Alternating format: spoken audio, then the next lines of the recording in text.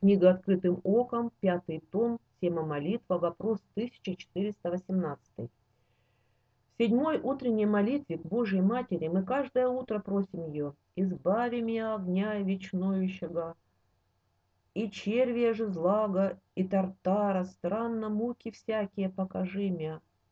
Просим ли мы удалить из нас избавить, как уже имеющееся, или же не допустить в нас, как непременно угрожающее нам – что вообще это такое и что об этом говорит Святое Писание? Отвечает Игнатий Тихонович Лапкин. Вопрос ставите слишком глубоко, и его нужно для остальных слушателей разъяснить. Что значит удалить из нас? Грех пронизывает все существо человека, и все его 320 миллиардов клеточек наполнены смертью, формалином и реквиемом. Удалить из нас эту смертность никто не может, но только Христос – пострадавший во искупление наших грехов, взявший нашу вину на себя и занявший наше место на Голговском кресте. 1 Коринфянам 15:22. Как водами все умирают, так и во Христе все оживут. Римлянам 17:13. Грех, оказывающийся грехом потому, что посредством доброго причиняет мне смерть, так что грех становится крайне грешен посредством заповеди. Удаление, оживотворение происходит через принятие Христа своим Спасителем, через согласие на принятие Его любви, усвоение ее лично тобой, так что эта миссия не посильна ни Божьей Матери, ни ангелам.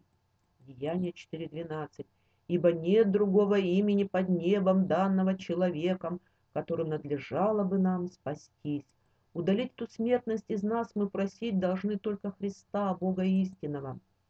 А вот уже после святого крещения, когда пыль греха снова обволакивает наши ноги, тогда мы просим помощи у святых ходатаев и Матери Христа помолиться о нас. И не более того, она не может ни избавить, ни погубить это в руках Христа. Исайя 43:11. Я, я Господь, и нет Спасителя, кроме меня но они молятся за нас, не спят там, не просто царствуют без нас. Просим отвести грядущую от нас, на нас беду, помочь нам устоять. Римлянам 8.27. Испытывающий же сердца знает, какая мысль у Духа, потому что Он ходатайствует за святых по воле Божией.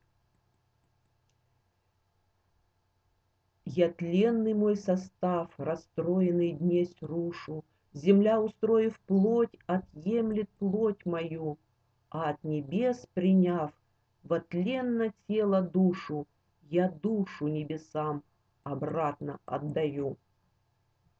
Александр Петрович Сумароков. Богу нашему слава всегда, ныне и присно, и во веки веков.